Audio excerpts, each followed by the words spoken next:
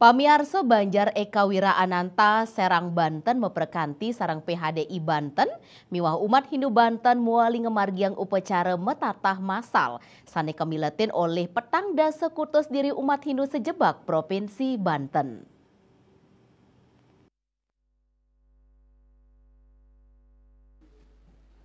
Banjar Eka Wira Ananta Serang Banten memperkanti sarang PHDI Banten miwah umat Hindu Banten turmaning WHDI Banten sani muali ngemargiang upacara mertatah masal sani kamiletin oleh petang dasa putus diri umat Hindu sejebak Provinsi Banten.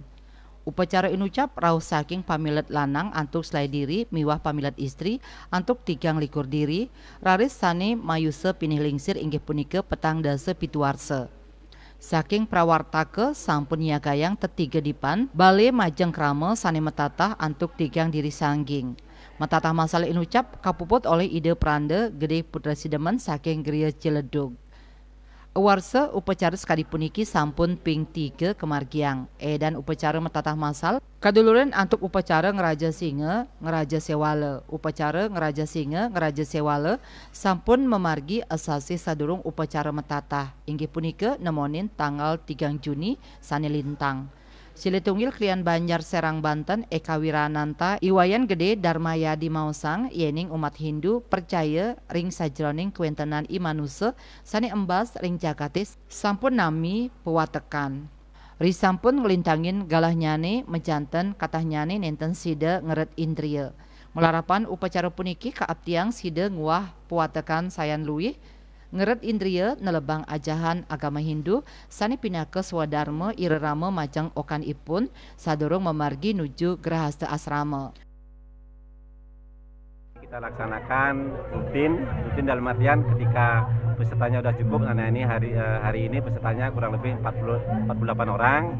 Eh, perempuan 22 eh, lakinya 26 ya 48 ini kita laksanakan rutin uh, tadi itu ini udah yang ketiga kalinya ketiga kali ya, Pak? ya udah ketiga kali pertama kali di tahun 2011 Nah, terus uh, di 2018, nah ini sekarang di 2023. Jadi, Jadi selepas Covid mulai lagi. Ya, ya selepas Covid mulai lagi. Nah, ini kita uh, ke depan harapannya kita bisa laksanakan rutin. Nah, ini adalah bagian dari apa namanya sosial kemasyarakatan. Nah, ini adalah memang implementasi ajaran kita di Hindu di mana kewajiban orang tua untuk memberikan ini ke anaknya apa namanya uh, metatah sehingga nanti uh, persiapan untuk menuju gerahasa kan gitu kan.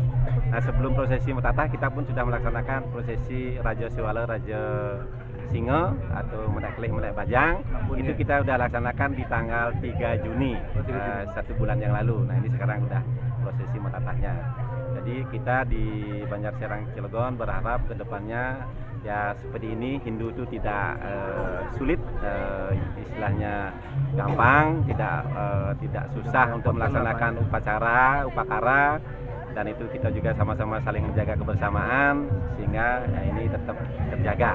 Nah itu aja harapan dari kita di Banjar sehingga uh, ke depannya selanjutnya. Oke, Ampurayang, uh, saya selaku ketua panitia yang pada saat ini mungkin uh, kegiatan tata masal puniki artinya harapan yang ke depan adalah uh, bisa berlangsung uh, kegiatan puniki ya seperti yang sudah-sudah uh, terlaksana seperti itu dan mudah-mudahan acara puniki uh, bisa diikuti oleh peserta lebih banyak lagi. Gitu. Jadi berlanjut ya Pak? Berlanjut ya. Banjar Eka Wirananta rauh saking satu telung benang kakak sanewedar ring kota sah Kabupaten Serang Cilegon. Selanturnya nih kuentenan pura inucap megenah ring widangan grup 1 Kopassus. Saking Serang Banten ketut Sumadia Senguningayang.